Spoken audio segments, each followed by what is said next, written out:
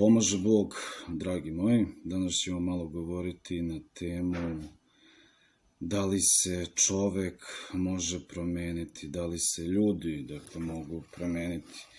Tema je široka, pokušat ćemo onako da je pristupimo malo, što bi se reklo, psihološki, a usput ćemo, da kažem, potkačiti i hrišćanski ugol gledanja.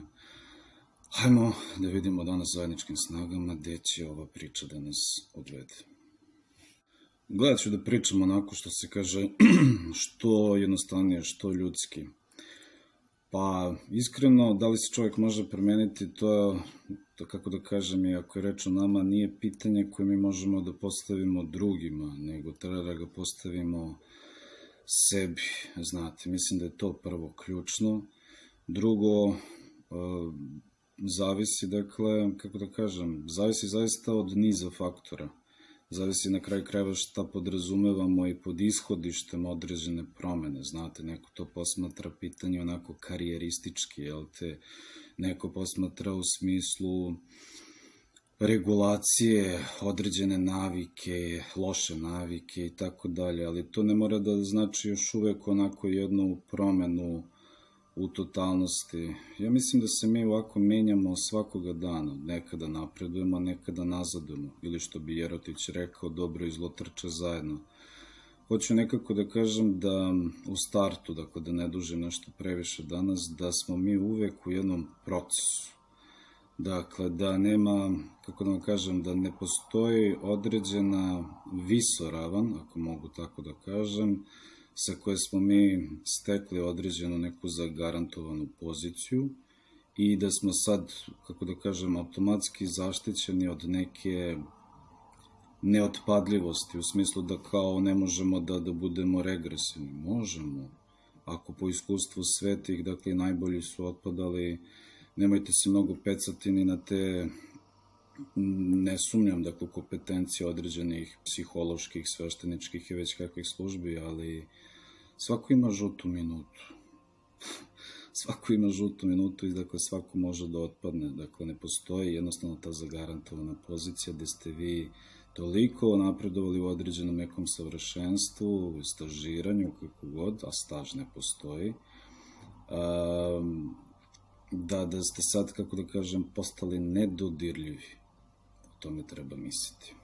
Spomenuo sam malo pre niz faktora dakle, koji utiču na razvoj. Definitivno, dakle, počeva od toga gde smo rođeni, pa kako smo rođeni, koga smo imali za roditelje, koga smo imali za školske drugove u okruženju, koga smo uopšte, eto, da kažem, imali u nekoj živoj interakciji svakoga dana. Stvar, koliko god ovako bila i lepa, nije uopšte i naivna Znate, dakle, to je niz, niz, niz, nevjerovatan niz faktora koji svesno, a je naravno i nesvesno utiču na nas, dakle, u izgrađivanju ili razgrađivanju, dakle, našeg identiteta. Dakle, stvarno, sve je uključeno, znate, sad recimo, neko meri, otko znam, jer živimo u vremenu, u vremenu kapitalizma i sad neko meri da će napredovati kao ličnost ako ima, izvinjavam se, ako ima bolji standard, kao nekoj drugoj državi. To ne mora da bude merilo, naročito za hrišćanski ugol gledanja. Činjenica da postoje posledice, činjenica da postoje, kako da vam kažem, određena robovanja, određene, određena, dakle, pa možemo reći negde i, i fatalnosti, zato što, znate šta, siromašan čovek lako sklizne u očaj, Svako je gladan pod ovim nebom, svako se bori za egzistenciju, svako se bori za svoje mesto pod suncem i platu, kad pogledate dakle, u drugim zemljama da bez obzira na neki standarda i dalje, dakle, ogromna potražnja i pomama dakle, za radnim mestima koje se nikako ne ostvaraju, onda vidite da stvari nisu crno-bele. I sad zašto posle neko odlazi, otko znam, u porno glumce ili zašto se prodaje u određenim radnim sektorima za određeni položaj, e, sve nekako u igri. Znači ja sad ovde ne opravdavam, da ne otvaram neko drugo polje, ne opravdavam, dakle, takve postupke, kompromitovanje i slično, naročito korupciju, ali mogu da razumem zbog čega dolazi dakle, do određenih devijacija na tom polju. Se vratimo na temu, šta znači promeniti se? Pa dobro, nije za pocenjivanje ako je neko uspe, otko znam, da, da spreče određenu neku lošu naviku, pušenje, alkoholizam, narkomanija, psovanje na kraju krajeva, osuđivanje na kraju krajeva i tako dalje. Dakle, sve zavisi šta podrazumevamo pod promenom. Dakle, može da bude loš brak, pa da neko i tu napravi neku promenu, a da ne brine o tome, jel te, šta će selo reći, neko može da bude loš roditelj pa da napravi promenu u sebi da postane dobar roditelj, neko možda ima neka loša iskustva da skače iz vezu u vezu, pa da i tu napravi jednu promenu, da pusti korenje na jednom zdravom emotivnom nivou i seksualnom, dakle nije to nikakav tabu, jednostavno u igri je.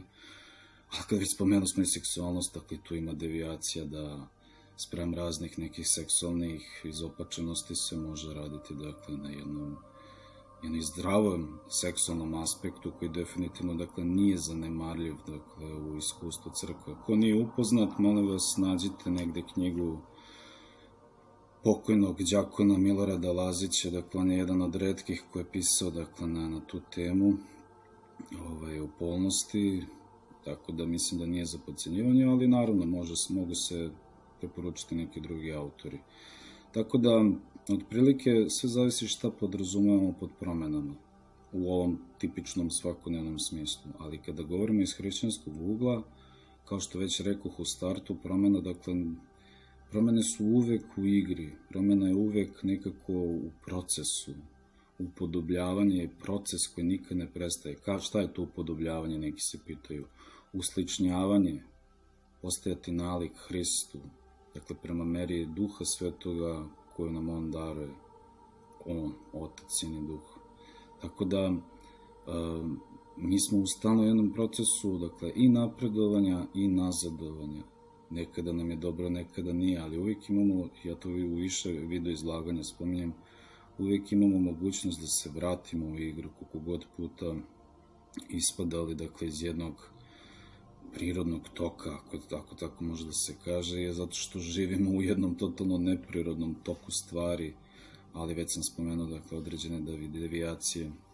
Dakle, za hrišćanski ugao gledanja promena se definiše kao pokajanje. Pokajanje ne kao mučenje nekom krivicom, nego pokajanje kao promena dakle, svog identiteta, upravo u kontekstu upodobljavanja, odnosno postajati nali Hristu. Kako se sad to postaje nali Hristu? Da li je to sad neka imitacija? Ok, može biti, ima i tu religioznog fanatizma i isključivosti.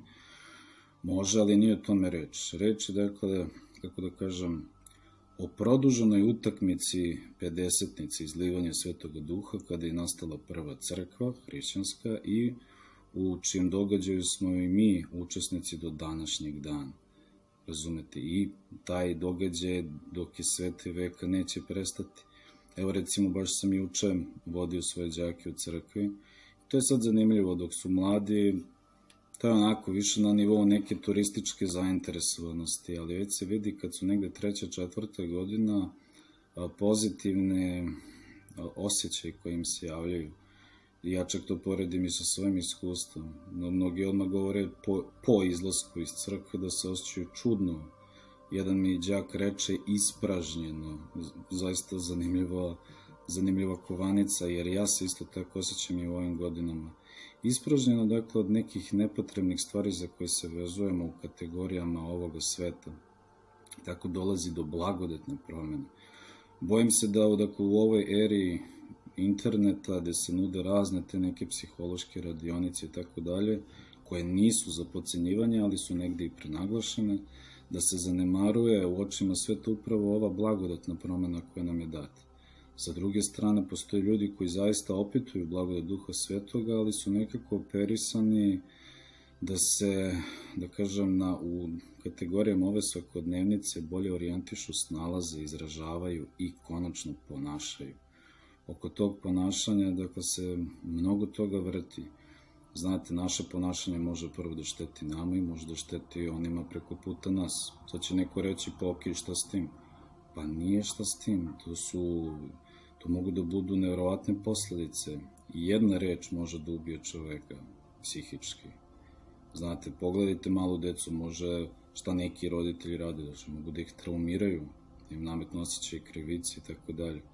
Tako da, da ne dužim previše u kontekstu današnje teme, promena je višedimenzionalna i treba nekako naći zdravu sintezu između rada na promenama u svakodnevnici, da bolje tretiramo sebe, to ljudi zaboravljaju, sebe i druge, ko ne tretira dobro sebe, logično da neće ni druge, i da konačno dođemo do ove blagodatne poruke, suštine, nada sve iskustva koje nam sa svakom liturgijom i našim učešćem u bogosluženju crkve daruje. Pazite, dar je u pitanju.